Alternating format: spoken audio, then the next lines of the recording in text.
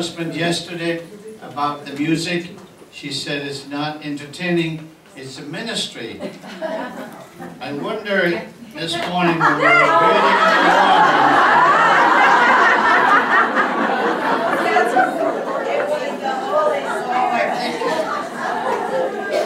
I think that part of entertainment is, is there and it brings forth the anointing as well. It's not one or the other, it's both and, you know. I think Justin Bieber could benefit.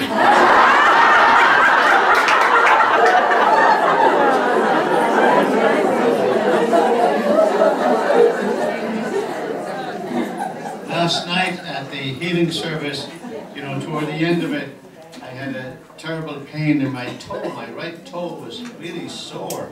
And I was limping toward the end, probably not noticeable to any because it was so. so after it was over, Rose and Cindy came down and they said, it's an ingrown toenail you have. That's what it is. So, um, what do you call it? Cindy was assigned to clip it. I think that they were looking for relics, really.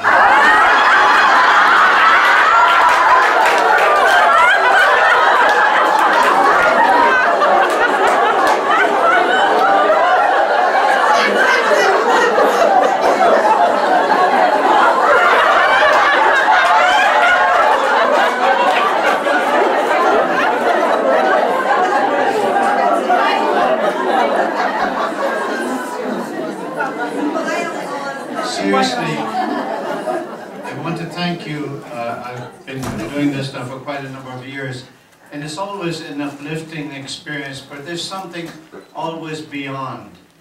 You know, I'm fond of saying, you know, God is something every day, something more for us, something more for me, and something new. And there's a sense of um, an earthquake on the mountain, because there's a lot, an awful lot that happens. That's what I was trying to get across last night. It's not beyond us, you know, that is hitting people individually, you know, and beginning to, to minister to you. I think it's not anything that I said or Father Bill or Monsignor, but it's the anointing, okay? It's that power anointing that comes upon you and you create the atmosphere. You create that so that, again, uh, when I looked this morning and I saw you dancing, there was a freedom. There was a tremendous freedom and kind of a, a holy freedom mm-hmm. and, and, and a sense of you know, being able to express that in dance, but also many of you have said, well, you know, this touched me, that touched me, but it is the Lord who touched you. And I guess the Lord touches us too, okay? Because, it, it, you know, our church has to do an awful lot, okay? We're lacking in many, many aspects, you know. Hopefully this new Pope, you know, if he talks with me, he'll get his act. He's a hope and there's a, a new wind blowing. There's a new wind blowing. And I, I see something like Women's Christian Fellowship, not here, in, only in the San Diego area, but I know it's blossoming in, uh, in other areas. Um, and, uh, you know, that kind of scares me because there's a group in uh, Phoenix. I've been there about uh, four or five, maybe six times, you know. Father, can you come to us? You go to Women's Christian Fellowship in San Diego all the time. Can you come here twice a year? Okay, that's all right. Now there's a group in Ventura saying, can you come here three times a year? You know, how long it takes to, I was in Ventura uh, a week ago, Monday. Okay? It, it takes two hours 15 minutes to get up there. It's an, uh, about an hour and three quarters to get home. Because it's dark, nobody sees me. It bears witness to what's in women's hearts, to what God is doing with women, to what our church is doing with women. Okay? Uh, and many times there is power in this group. You know, all you have to hear is the prayer and the praise and the anointing. Okay? There are lives that are changed. Things that would never have happened a year ago to some of you, now is happening. You know? And what you do is you stand back and say, to God be the glory. You know. And, it's something that, again, um, it's something not to be missed every year, this retreat. Uh, and that's why, again, I am blessed by it. I'm sure the other priests are blessed by it as well. Thank you. What more could I add to that? That was. Truly.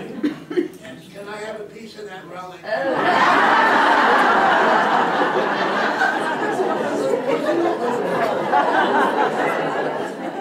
No, seriously,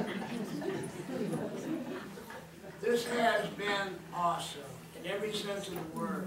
You know, there's no two alike, and each is different, but in a sense, they're somewhat uh, similar in this sense, that is a power of the Spirit that is alive and is changing. We heard the talks, both Father Mike and Father Bill talked about the processing. That baptism isn't just a one-time act, period. It's an ongoing renewal, an ongoing process. We grow in these gifts. And I'm just thinking, Friday, when we, when I spoke here at Mass about the surrender, of the Blessed Mother, you know, you were pretty solemn. Because, you know, it was just Friday, you're coming in, and so it was the beginning. You, you, you- Jesus was waiting for the knock. Wow! You open the door and you jump, you, you jump for joy. I mean, I mean, there was some contortion that could only be from the Holy Spirit.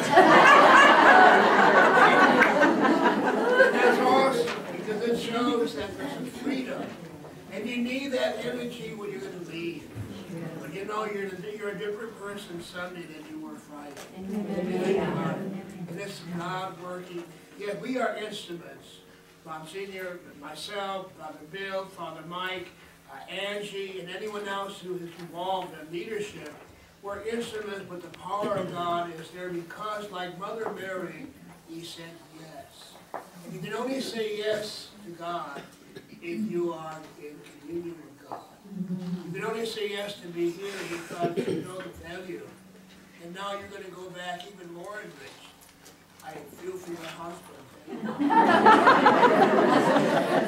Awesome. No, truly and seriously, I am so happy because I grow from this experience. Four years ago, I was one of those who would not sing in tongues. Oh, I, I, I would look at it and I'd say, well, I don't know about that. I don't know. I don't know. I don't know what they're saying. I mean, yeah, I don't know. Pride. I didn't want to let go. I was, I was trying to hang on and do things my way. I still have that problem. I'm, not, I'm still in process. I still have rough edges. So I need to come here more often. And I think you need the same because we're not finished. The good news is, and the bad news are the same. You'll be finished when you die. So in the process, no. So keep coming until that day. You want to hear him say, "Well done, welcome, sister. I've got a place for you." Somebody asked me, have you ever seen this dancing before? You know, that's, that was really nice. Actually, they, they do this in Kenya.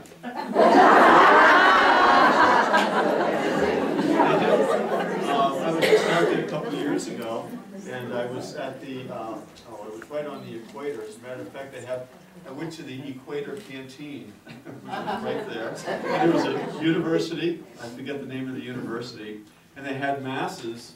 They, they start mass very early in Kenya, like I think the, the morning, the Sunday morning mass is at seven, then there's the next one at nine, and the last one is at ten. And the way they have mass is uh, the place is packed, uh, packed, and then they have a ministry, it's called the dancing ministry.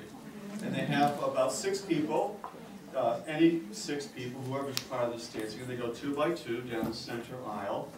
And they also become the Eucharistic ministers, and they become the readers, They become- it's just like a Catholic church here. Everything. And they dance down the aisle, so what you were doing just reminded me of Kenya, it's very, very, very popular. Um, Beautiful too, they have beautiful, beautiful liturgies over there, I, I really enjoyed my stay. Um, my only word for you today is, uh, this is, this whole weekend has been God's gift to you. And I can testify to that because I'm an outsider, I'm, I'm from the other side of the world. And I, when I came here on the airplane, I did not have my talk prepared yet. I was, uh, I was beginning my retreat, and I was going through a book, you know, the, uh, on the Eucharist, and reflecting on that. And I was asking the Lord what it was I was supposed to say. I, I looked at my, my, my titles for the talks, I got those, and I saw some of the titles of the other talks, but I didn't know what to say. So all these ideas were going through my mind uh, on the plane. And then uh, when I was at Bernadette and Dave's house on, on Wednesday, uh, let's see, Thursday, I spent the day again in preparation and again, all these ideas, and I was writing them down on paper. And when I got here on Friday, almost all the ideas that had gone through my mind were, were either up on the screen or they were. and um, they were in prophecies when you were prophesizing on, on uh, Thursday, let's see, Friday night. And Saturday morning, I was listening to all the prophecies, and I said, gee, this is like a repeat, you know, I, I've heard all this before. And so all the stuff that, that you've heard has been prepared by the Holy Spirit for you. And we're just the instruments, you know, this is what, what uh, Father, uh, Father Mike and Monsignor was saying. We're just the instruments. God told us, and He's putting this stuff in our head to tell you this. So this is all part of God's gift for you.